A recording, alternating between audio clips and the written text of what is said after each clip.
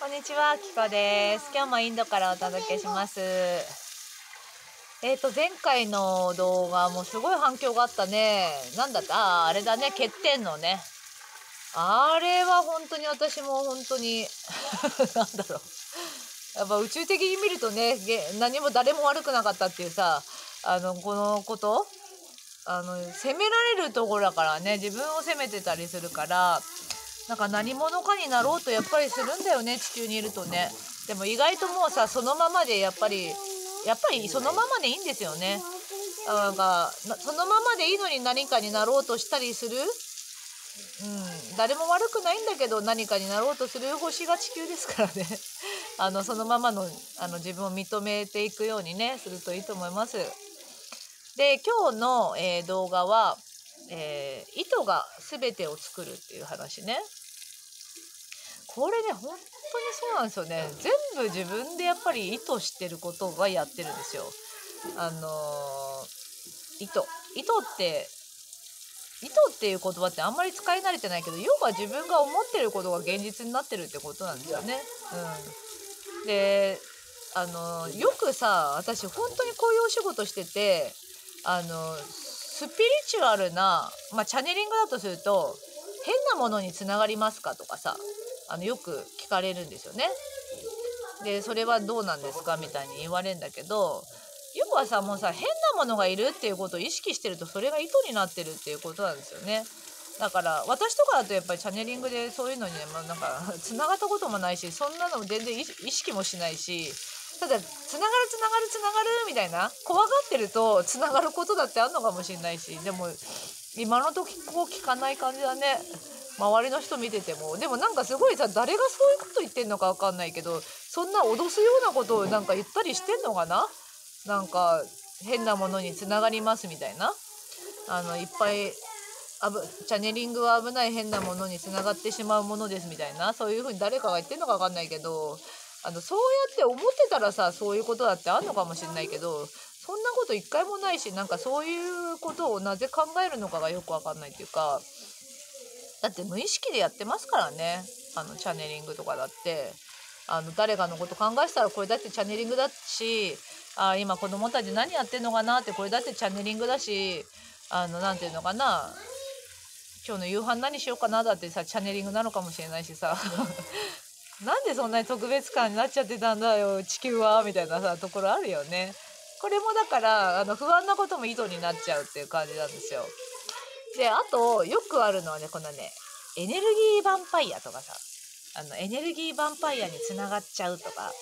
あの人のエネルギーに影響を受けるとかさなんかそういう風に言う人も結構こういうのやってる人いるんだけどあのそれも意図になっちゃうっていうことなんですよねやっぱりそういうのを気にするっていうのすごい人のエネルギーの影響を受けるみたいな感じで思ってるとやっぱそれも強く意図になっちゃう。なんか要はさ自分の意図っていうのが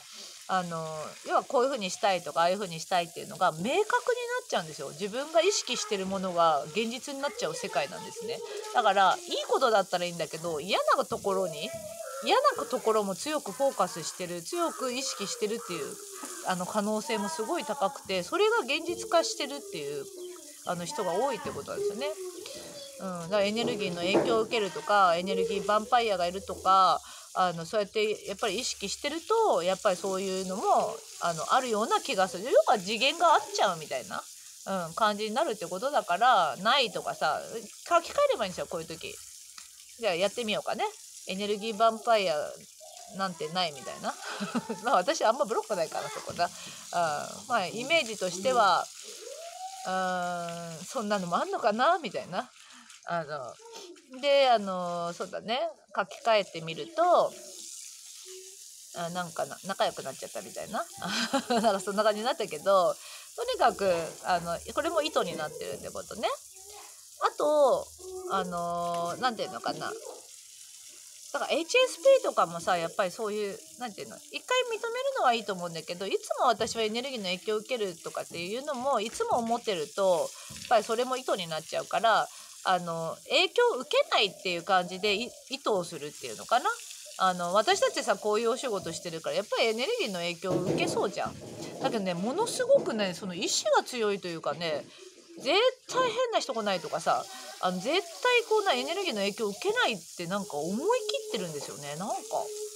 なんでこうやって思ってんだろうだからそこも無意識で意図になってんだと思うんだけど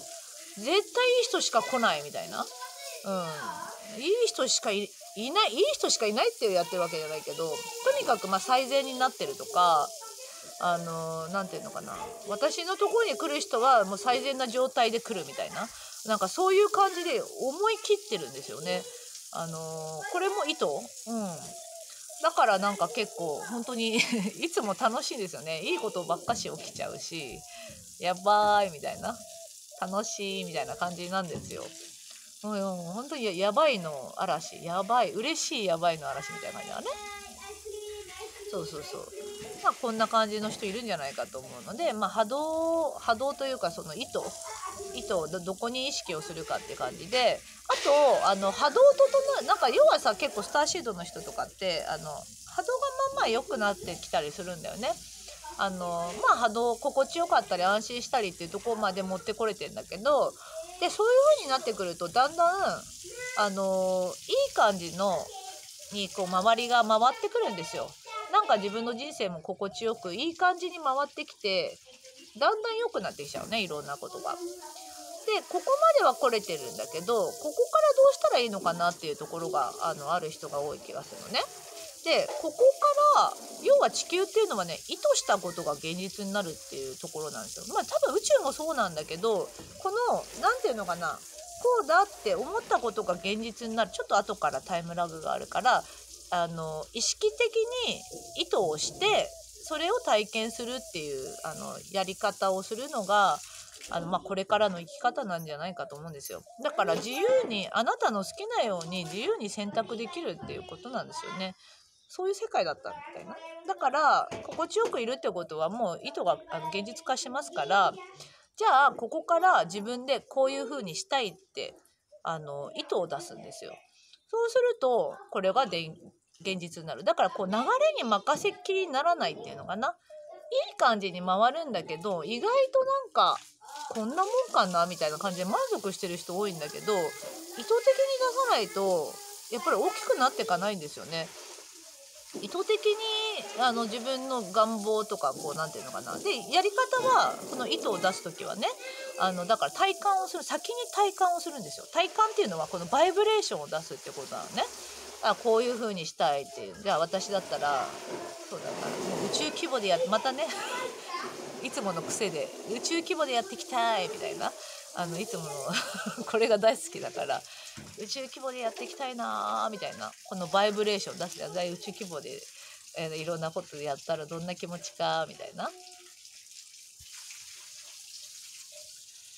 うわーやばいな本当に。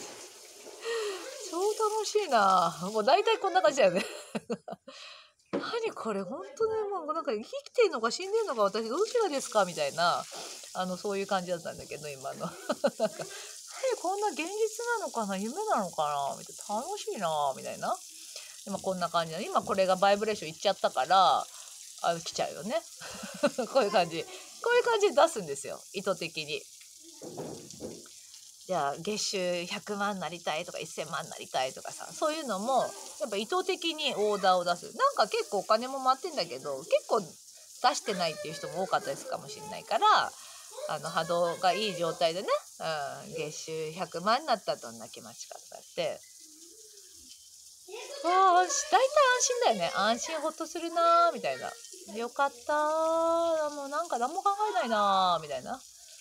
はあみたいになるじゃん。このバイブレーションがこれこれが意図なんですよね。そうこれをこの気持ち感情か感情が今ビヨーンってハイヤーに行ったから現実化しちゃうって感じ、うん、こういう感じで意図的に出すんですよね。なんていうのかなこれが地球のやり方だったんですよね。あのコツ？コツかな、うん、だからあの嫌な人とかさあの人嫌いとかもうものすごいこの人嫌だとかとてもあれにイライラするとかねそんなことやってるとそれがものすごい意図になってるってことなんですよ。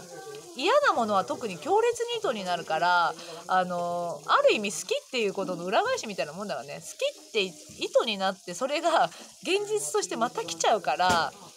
うわーみたいなあのすごいこうなんていううわ気持ち悪いとかさうわーとか思ってるやつを書き換えるっていうのかな。うん書き換えると周波数変わるからそれがこう糸にならなくなるんだけどあの結構ね思い込んでるんですよ自分が糸糸して意図しちゃってる？思い込みが意図になっちゃってるからそういう思い込みの周波数とかをあの変えていくといいんだと思います。